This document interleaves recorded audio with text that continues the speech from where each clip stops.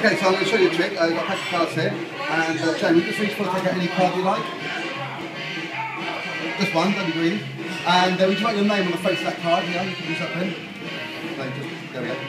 Uh, just write your name on the face. And Martin, do me a favour. Uh, as I go through, just say stop. There, look at that card there. You know what it is? Over here as well. This card goes into the middle, and you've got your card in the middle also. So two cards selected, one card signed, one card left in the pack. Okay? Um, now at the top card. Hopefully it won't be with your card. We'll check it out now. So I know it's not your card because it doesn't have your name on it. I'm guessing it's not your card.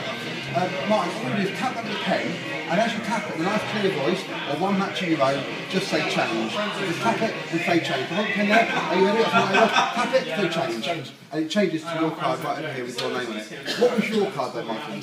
Would you hold on that card there for me? Would you tap it again and just say change? Did you see it change? Do it again, do it again. Did you see it change that time? One last time, try it again. Did you, see, you must have seen it change. You must have seen it go. Really? Are you sure? Where were you looking? Were you looking at the card? Ah, yes, that's my mistake. I should have said. I meant the pen. And if you just take the lid off for me and just show it to the camera, you really back thing. It's not inside, it actually is. The pen is your card. Pen is the ace of hearts. The ace of hearts. The very card you merely thought of in the pack of cards. And that is why it's a miracle.